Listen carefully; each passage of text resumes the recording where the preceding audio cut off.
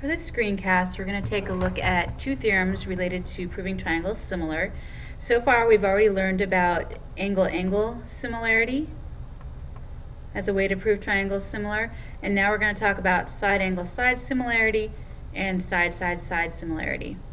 Uh, side-angle-side similarity states if an angle of one triangle is congruent to an angle of another triangle and the sides forming the angles are proportional, then the triangles are similar. So let's take a look at an example of this. So here I'm going to create two similar triangles. Right now they're congruent, but I'm going to shrink this one down. So now they're similar. So let's say that these two triangles were marked so that these angles here were congruent. And let's say that this side was 5 and this side was 4 and this side here was 10, and this side is 8, we can clearly see that the angles are congruent and that the sides forming the angles are proportional. And by that I mean the corresponding sides are in the same ratio. 10 over 5, those are corresponding sides, is the same as 8 over 4, the other pair of corresponding sides. It's a, a 2 to 1 ratio. So these triangles here would be similar by side angle, side, similarity. Now, for side-side-side similarity, it's kind of the same um, idea, except instead of having an angle, we have to have all uh, four pair, all three pairs of corresponding sides proportional. So uh, we might have a six here and a three here, and we can see that uh, each of the three pairs of corresponding sides is in the same ratio. 10 to 5, 8 to 4, and 6 to 3. They're all in a ratio of 2 to 1. So at this point, these triangles here that I am now referring to would be similar by side, side, side similarity. So let's take a look at some examples. Um, here uh, we have two triangles and we need to see if the triangles are similar. We're given the lengths 4, 5, and 7 and 16, 20, and 28.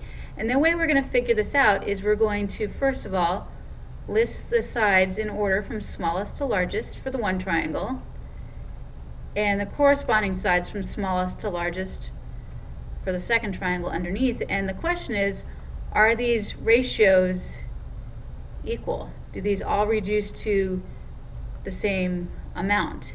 Um, 4 over 16, we know that reduces to 1 fourth, and 5 over 20, that reduces to 1 fourth, and 7 to 28 also reduces to 1 fourth. So yes, these are similar by side, side, side similarity, and the scale factor would be 1 to 4. All right, let's take a look at this second example. Um, once again, I'm going to list the sides from smallest to largest. Here we have 2, 5, and 6. And then we have triangle XYZ. And we need to be careful here. The shortest side is 2. So I'm going to list that here. And then the next shorter side is 2.5 and then we have 3.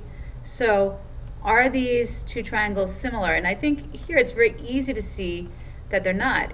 This first pair of corresponding sides is in a ratio of 2 to 2 or, or 1 to 1, meaning the values are the same, and that's clearly not true for the other ratios. So are these triangles similar?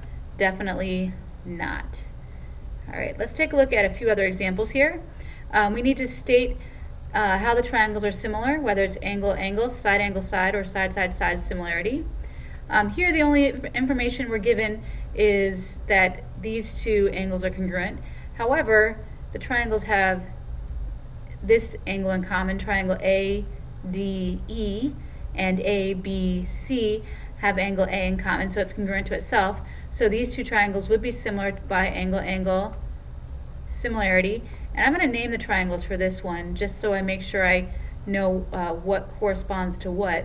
Uh, triangle ADE would be similar to triangle, if I do ADE, I'd say ABC.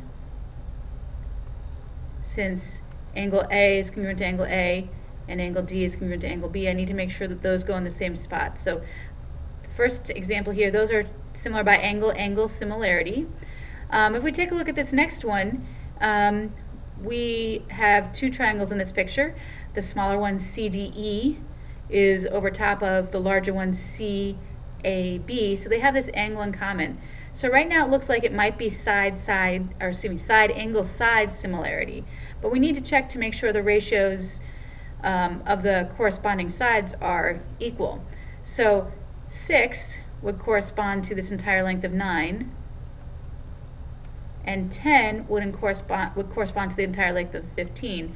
So the question is, are these equal? And another way you can see if two ratios are equal is to multiply.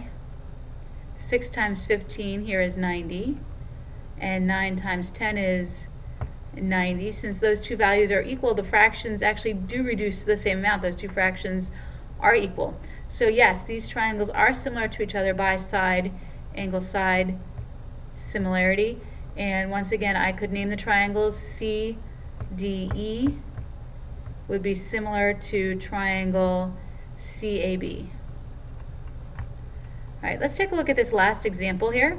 Um, I don't know anything about the angles, I just have information about the sides. So let's see if the three pairs of sides are in the same ratio. So in the smaller triangle, the sides are 3, 5, and 6. And in the larger triangle, listing the sides from smallest to largest, we'd have 6, 10, and then 12. We have to add those two lengths, km and mn, to get the total length there, 12. So we'd have uh, 6 as the shortest, 10, and then 12. And here it's very easy to see that each of these fractions reduces to 1 to 2. So our scale factor is 1 to 2. And yes, these triangles are similar by side, side, side similarity.